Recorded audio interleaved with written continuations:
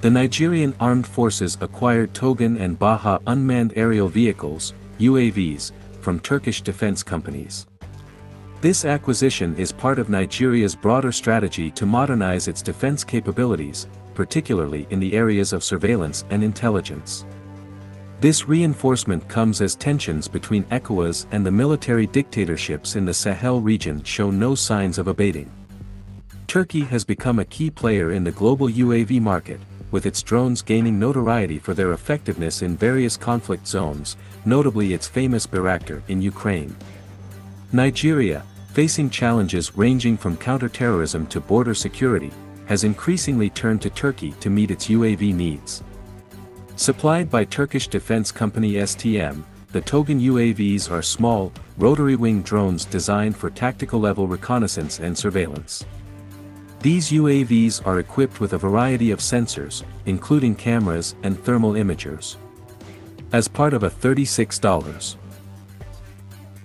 5 million project with Asisguard and the Nigerian Ministry of Defense, this marks the second international export of the Togan system, with STM also in discussions for potential exports to other African nations. Havelsan, another Turkish defense and informatics company, has also exported its Baha UAVs to an undisclosed African country, believed to be Nigeria.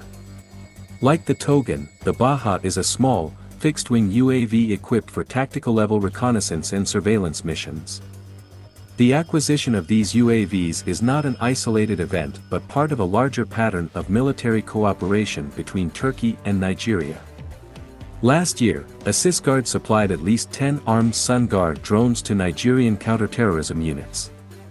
Both nations have also pledged to strengthen their military relations, focusing on areas such as joint training, intelligence sharing, and defense production. There have also been rumors about the Nigerian armed forces purchasing Russian T-90 tanks, as we reported on Army Recognition on August 25, 2023. Nigeria continues to strengthen its armed forces with multiple deliveries of foreign vehicles, but it is not just a buyer. Nigeria has indeed launched licensed production of Chinese Dongfeng CSK-131 MRAP vehicles.